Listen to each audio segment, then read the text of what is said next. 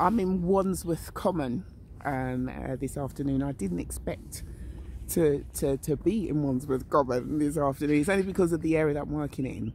Um, I remember working around here a few years ago, and uh, and I remember it was on a Saturday, and uh, my children uh, came came with me on that particular Saturday, and um, I remember, yeah, working around there. I, was, I did really well around there actually, and I just thought as I was walking past, I saw the pathway, and I thought, you know what? Let me just go and have a look and see what is at the end of the pathway.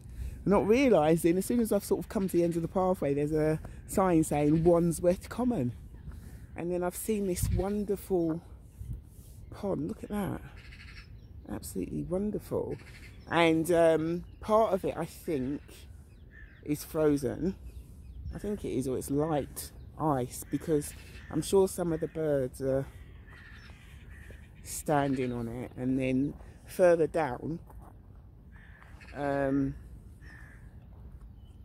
it's not. You can see that there's some of the ducks. You can see the ducks swimming on the on the on the on the river. Awesome! I love it. Anyway, today basically I met uh, one of my neighbours and I uh, managed to sort of like have a chat and he was asking how was my Christmas and New Year's and everything like that. And then uh, um, I then shared about how I do a come and see event twice a month on a Thursday and a Saturday, and he was quite impressed with that. One, he didn't know that I was an author, and two, you know, he, you know, he was surprised that, uh, you know, um, that I'm actually doing events as well. And so I was sort of like asking him if he'd like to come along. I didn't, you know, I didn't want to put him under any pressure, but I said, you know, he's welcome to come.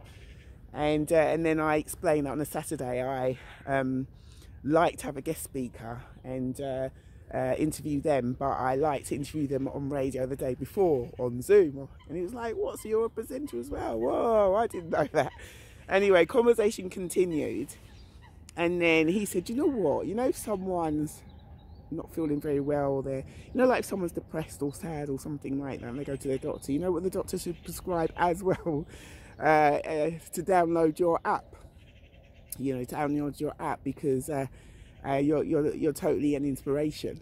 And, uh, you know, if you just share about your journey, it will really encourage people. And I thought, how encouraging is that? I don't know if anything like that's happened to you, whereby, you know, you're just basically sharing. And you do like to encourage as you share. And someone's turned around and just been so inspired by what you've said. And they pay you a, such a great compliment.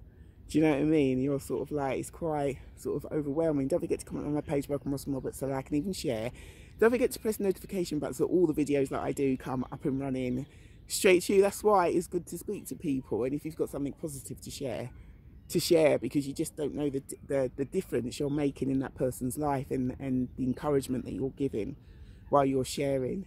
This pond's amazing, isn't it? Look at it. So lovely. Really is. I'll walk a little bit near, not too near though. Look at that. Absolutely beautiful. Anyway, I look forward to hearing your comments. Take care. Speak to you soon. Bye bye.